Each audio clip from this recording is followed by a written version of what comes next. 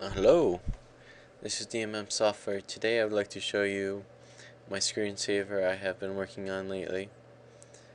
Um, if you just want to see it and not have to install it in your computer, you can just download it and then open, unzip it, and then right click on it, click test.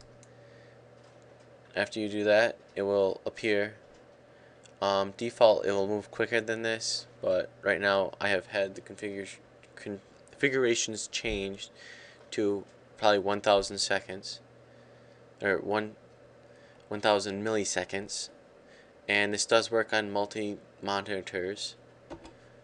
Um, you can still configure it without installing it. So yeah, see I had um, we're gonna bump it up to 150. The lower is faster. So the higher the number is, the slower the change of rate, and it'll show my company logo.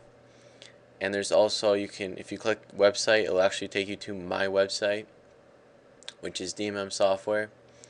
Um, there's pranks, utilities, games, and DLL files. So if you're a programmer, you can use the DLL files.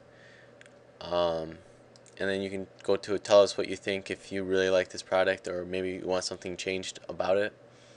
And go to the bottom and comment. Um, after you have changed the settings to what you want click save um, settings. And then test it again. And if you notice there it's a lot quicker now. And you cannot see this, but on my other monitor it has DMM software up in the upper left hand corner. Alright, so say that I have tested it and previewed it and I really do like it.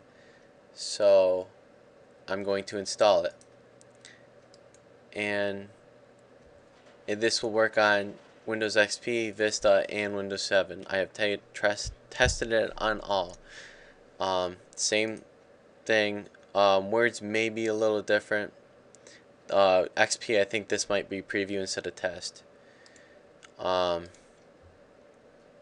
basically, you go down here, look for screensaver, and that's mine. Uh, settings gonna be the same. You can take it off so you don't like the company logo, so you just take it off. Be like everything else, and click preview. Same idea. It's back to what it was before.